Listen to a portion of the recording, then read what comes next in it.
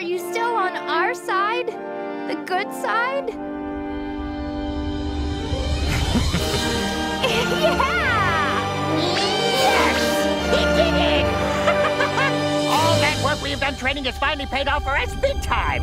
Oh, yeah, he's a Super Saiyan 4. Oh, wow! That's a Super Saiyan 4? Amazing! You're telling me that's the same little kid whose tail we stretched out?